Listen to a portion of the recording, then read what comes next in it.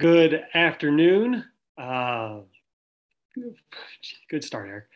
Good afternoon, and uh, welcome back to continuing coverage of the GAC Volleyball Media Day. Uh, at this time, we welcome in representing Southeastern Oklahoma State, Nicole Solum Mitchell and Ruthie Forson. Coach, thank you for joining us. Same to you, Ruthie. Uh, as we have with the previous coaches, we ask you to kind of an opening comment on how the fall has started, and then uh, Joey and myself will ask both you and uh, and Ruthie some questions. So without any further ado, we'll turn it over to you. Me? Yes. uh, yeah, no, uh, so far things have been great. You know, we've got a lot of new faces, uh, a lot of new faces. So it's been great to see the girls gelling together and, and, working hard and competing in the gym. It's always great to have the music going and um, just seeing the competitive competitiveness going on uh, in the gym. Um, but it's, it's been a fun environment so far. You know, our, our returners are great leaders. Um, and I have 12 new faces. So having those returners um, leadership um, and expectations of what this program is is doing moving forward to help those newbies. Um, it's always it's always great to see those connections. Coach, it's your fourth season with the program, but it's been a while since you've had what you're looking to have this year, and that's a what could be, I guess, best described as a normal season, a regular season, where yeah. you had a, a spring and a summer and, and fall camp and heading into the year. So, talk about it, what what it means to you now. Really, just I guess in light of that, your second season with the I know, yeah, I know. I'm like fourth year, but sometimes I still feel so new, you know um, yeah, I mean, it's great to be back to some some normalcy here. And August is is always an exciting time on campus, and you know, with football coming in and us coming in and cross country and all those things, it's always great to to have the feeling and the excitement of of getting started. So we're excited. We're we're excited to get going and, and get moving. I'm I'm ready to compete. Um, like I said, we've got a great group of girls here that are um, are ready to do some damage. So we're we're excited. Ruthie, when she talks about doing some damage, that's uh, that sounds pretty cool. Don't do it to the new facilities; they look yeah. too nice, and it seems right. like they they get better all the time. Can you can you talk about uh, what's behind you right now, and and uh, your your where you get to play this year? Oh, um, this is our home. I mean, it's all new. Uh, I came in and it was brand new. Um, we're still getting new stuff. Uh, I'm excited to play in it. It's a good, it's a good place. Now, I know that uh, the folks who who follow Savage Storm volleyball uh, want to see more of you on the court and and uh, at full strength. You're one of those players too. When when I hear your name brought up around Bloomer Sullivan, you're one of those one name players. It's just, hey, have you seen Ruthie? Have you seen what Ruthie can do? Have you watched Ruthie play? Uh, what does that mean to you? Uh, it means everything, but I also don't really like being in the spotlight. So I think uh, it goes back to my team. I mean, I wouldn't be here for without coach. I wouldn't be here without Taylor and uh, I'm thankful and blessed for this opportunity. Well, you're one of those players that you get an opportunity to share with your team. Uh, you, you, have a better than 8.6 assists, but also you have better than 1.6 kills per set, uh, as well as 2.6 digs. I, I mean, it uh, you really are the epitome of an all-around player. Talk about your game. Oh man, um, I'm just thankful. I mean, I'm a setter, so my position on the court is kind of, I mean, you kind of got to have it to have hitters. I mean, um, I don't know. I mean, I love the game. I love the position that I'm in. Uh, I couldn't do it without my passers, and we couldn't score without my hitters. So I'm thankful for I can. I mean, I'm a left left-handed setter, which I'm grateful for, but I couldn't do it without my passers and hitters. So. Coach, I'm going to direct this to you because I did put uh, Ruthie in a difficult situation to talk about herself. So I'm going to let you talk about her for just a little bit because uh, she she does bring a lot to the court.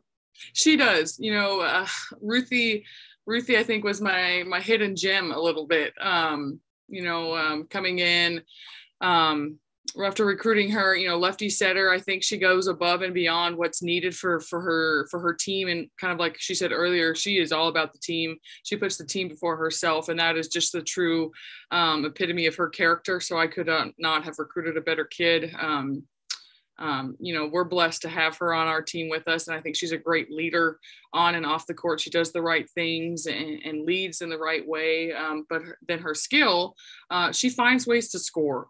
you know what I mean? And that's that's one cool thing that you talked about her her kill percentage. um, our kills per set, um, you know, sometimes her kills per set are higher than some of our, our actual attackers. and so that's, that's a huge benefit for us. And I think, you know, after her freshman year of, you know, just her and I having a better relationship and getting to learn one another and her understanding our expectations and, you know, my, me figuring out what, what her range is, is, you know, I can put it on Ruth and Ruth can get it done.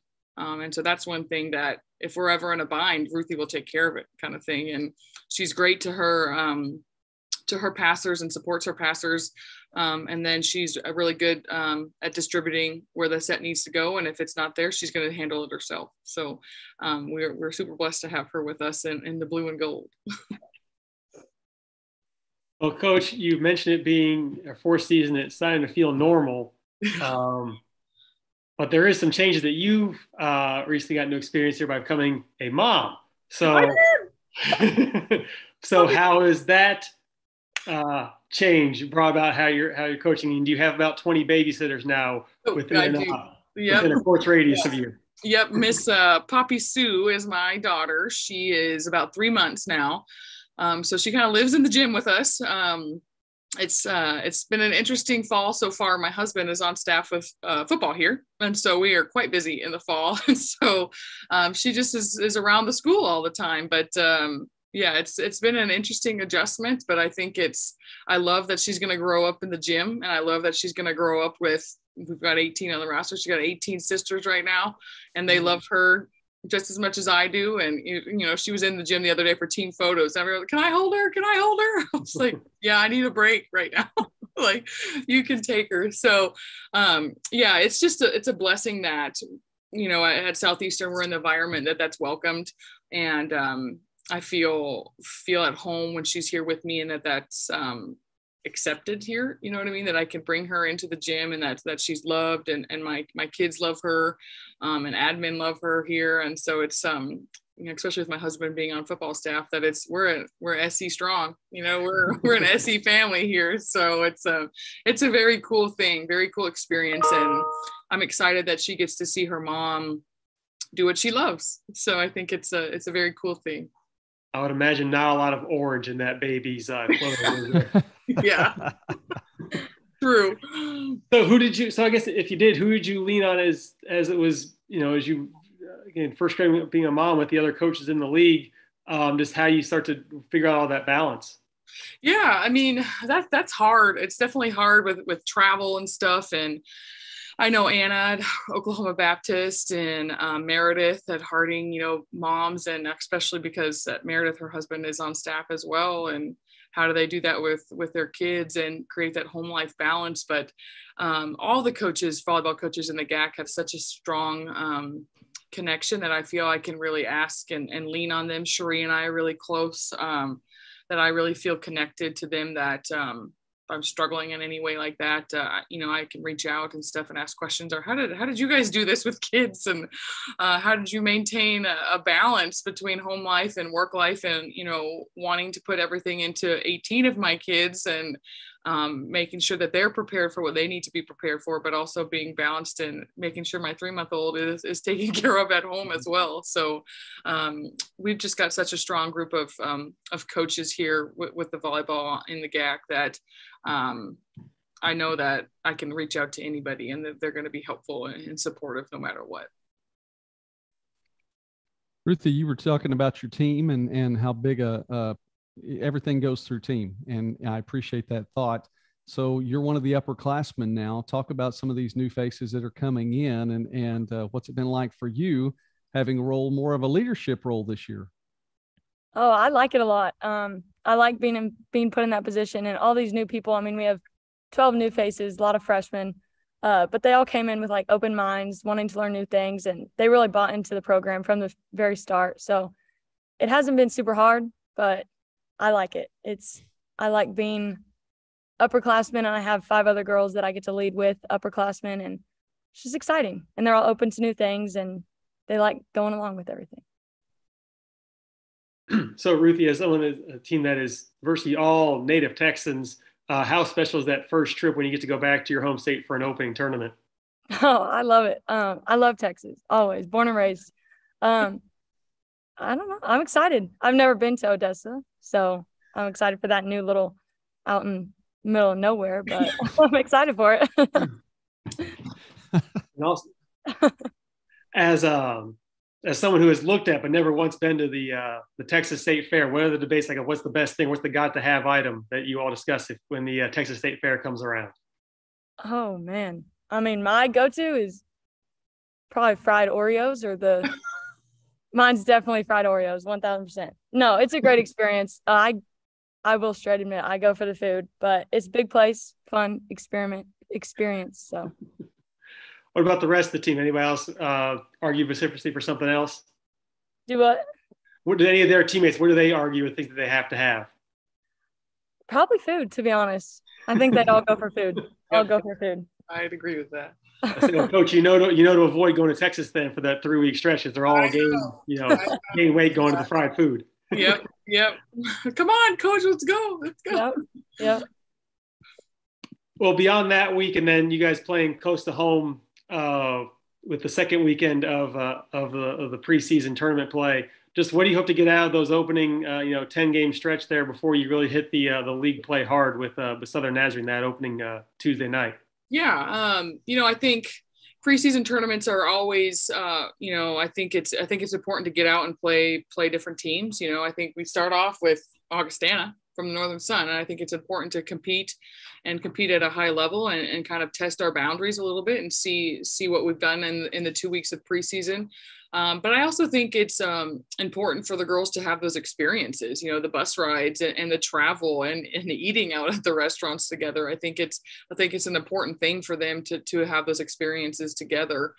Um, but um, we're excited to play new people. You know, we're excited to to get out and play um, different teams you know i think it's it's the experience of different leagues um, different conferences. So um, we're excited. It's nice to have a little bit of you know we're going far for odessa i mean seven hours and then um, oklahoma city you know so parents can come and travel and it'll be good.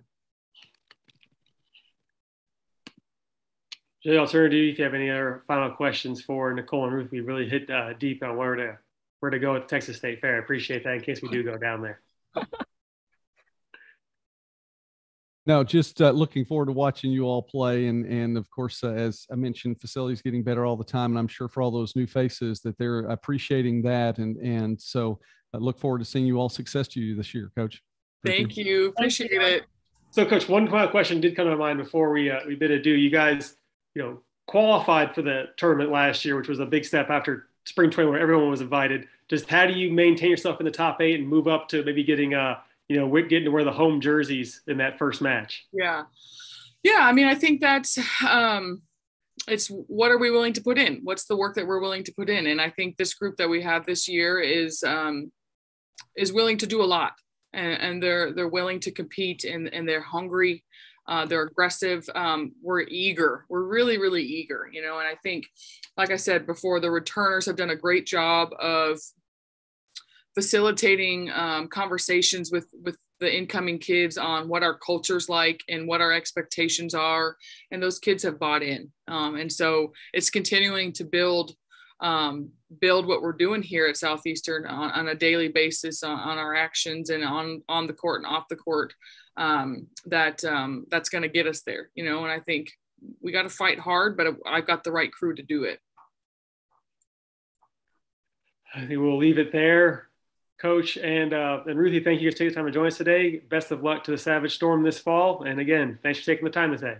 Thank, Thank you so you. much. Coming up at 12:20, we will uh, visit with Arkansas Tech. So we will see everybody in about six minutes. Thank you.